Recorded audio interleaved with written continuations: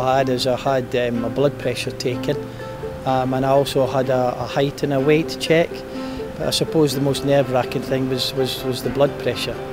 Um, and as part and parcel of that I did discover that my blood pressure is, is, is too high.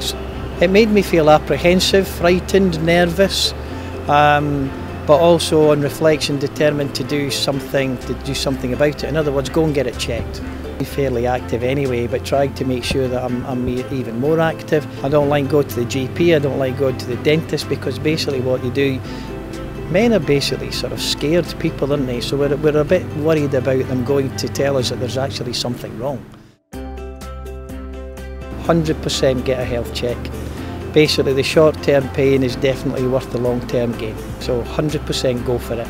Look after your health. As I said before, you get one chance of life, take it.